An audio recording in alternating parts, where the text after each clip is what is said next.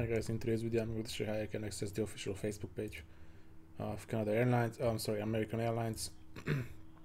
first things first, you're going to head over to americanairlines.com and from here you can just scroll all the way down while you see this little icon uh, Facebook and this should take us to the official Facebook page of American Airlines where we can actually see the latest uh, updates and news on this company, okay?